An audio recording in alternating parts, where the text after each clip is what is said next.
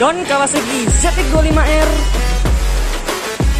kita setting Ohlin pemasangan Aero Pro Race dan servis ringan. Kita cek sound